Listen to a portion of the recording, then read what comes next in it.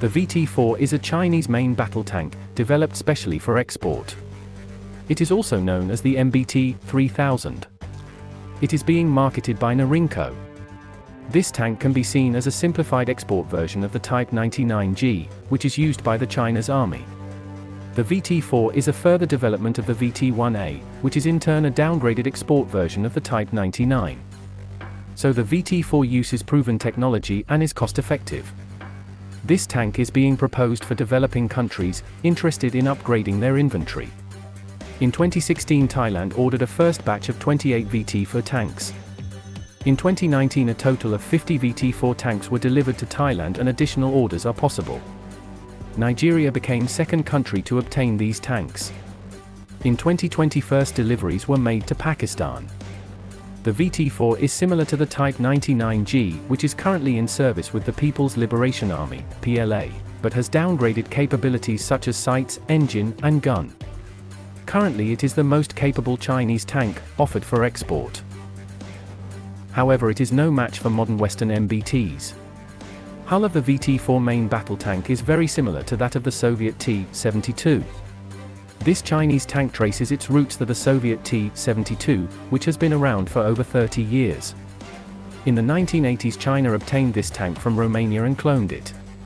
Since then Chinese designers constantly improved and fine-tuned this tank and its systems. Also the VT-4 shows some Western influence in its design. This Chinese tank has a low silhouette. It is a key T-72 feature. Hull and turret of the VT-4 is of welded steel construction with a layer of composite armor over the front arc. Also there are modular add-on explosive reactive armor blocks. Turret has a wedge-shaped armor. If required, side skirts can be fitted with add-on explosive reactive armor. Add-on explosive reactive armor of this tank is different than that used on the Chinese Type 99G. It is likely that the VT-4 has inferior protection to that of the Type 99G. The tank has an NBC protection system. It is also fitted with an automatic fire extinguishing system.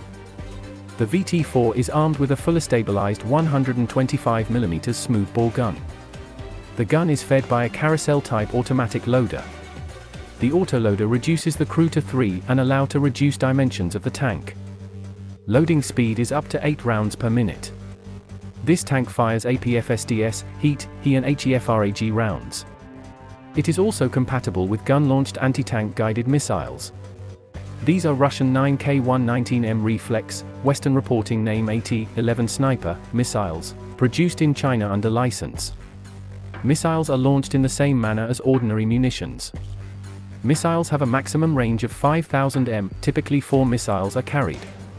This anti-tank guided missile capability is not common in Western designs. A total of 38 rounds are carried for the main gun, 22 of them are loaded into the autoloader and are ready to use. Other rounds are stored inside the hull. This tank is fitted with a coaxial machine gun and remotely controlled weapon station, armed with a 12.7mm machine gun.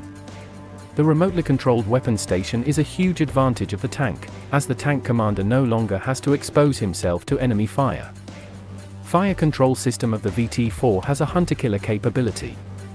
This tank can fire accurately on the move. The tank is fitted with a GPS navigation system. The VT-4 is operated by a crew of three, including commander, gunner and driver. This main battle tank is fitted with an indigenous turbocharged diesel engine, developing 1 horsepower. Sometimes it is referred as the Type 150.